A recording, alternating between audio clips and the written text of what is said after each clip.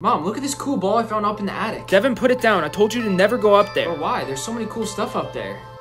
Mom, look what I learned to do. Oh my god, no, Devin. Promise me you'll never do this again. Guys, this is our new student, Devin. Ew, he kind of looks creepy. And his big ass head. Devin, I told you not to use any magic. Why, Mom? This is my creature. Because there's too many hunters that will burn you and kill you. You're really a warlock, huh? I thought they were only in books. Yeah, but Johnny boy, don't tell anyone.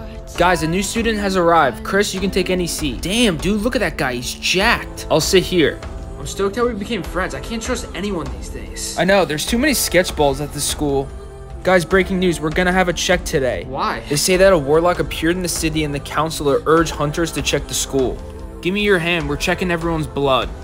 Yeah, I'm sure there's no warlocks here. Yeah, probably not. And Chris, did you notice anything strange? Wait, Chris, you're one of the warlock hunters? The results has loaded the strongest warlock has been found. Wait, no, this is some kind of mistake.